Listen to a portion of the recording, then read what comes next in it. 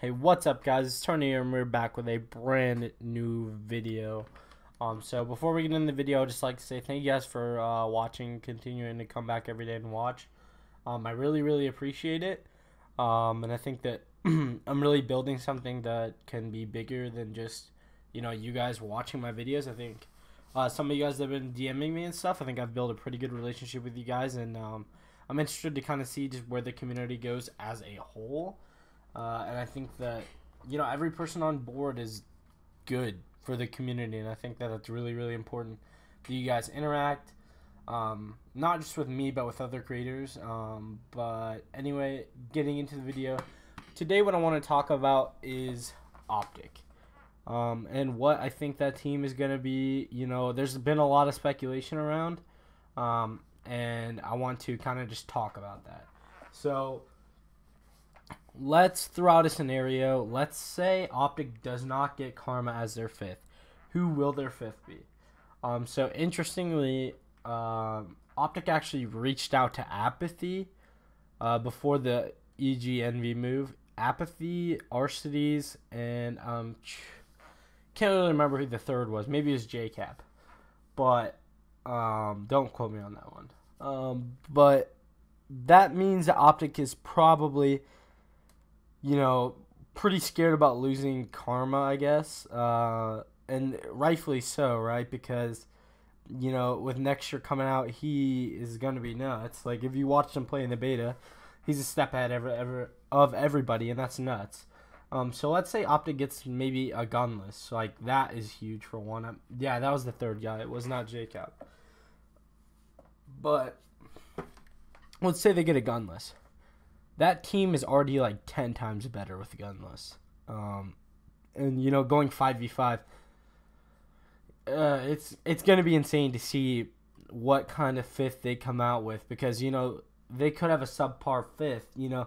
Maybe they even start to look at some of this younger talent. You know, I already know that they have TJ and Dashy, but what if they potentially picked up like an Abezy? Uh, he does have a huge, huge buyout from E6. So I think it's like 50k or something, which is insane. He's probably not competing this year. He doesn't get bought out by a top tier org.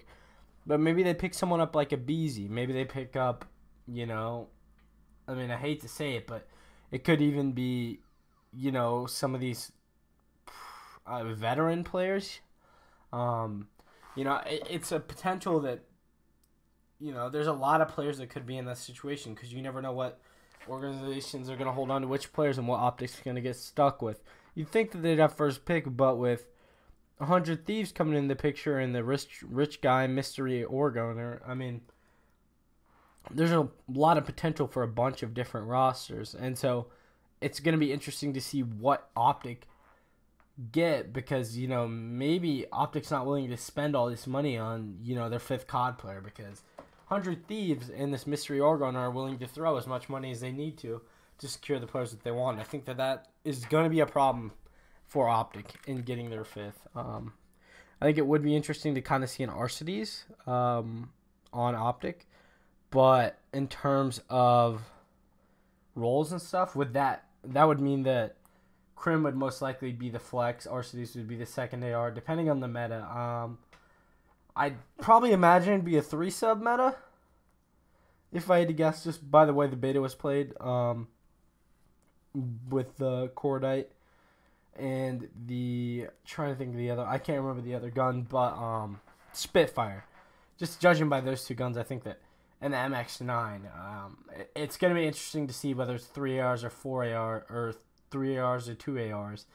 Um, you know, just how important is that flex player gonna be? Because you know, if you get into the game and you picked up three main sub players and then the game's AR dominant, you're gonna have a problem. Um, but the meta's always changing. That's something that's really good for teams.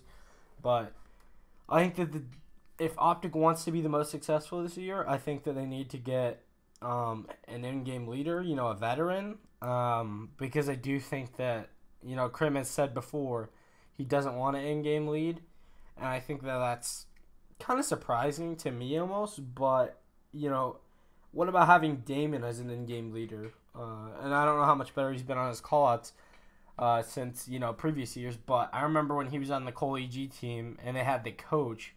Uh, the coach was actually calling out for him. So, I mean, how beneficial is he going to be as an in-game leader? You know, if he if he can't even call out that stuff, you know how.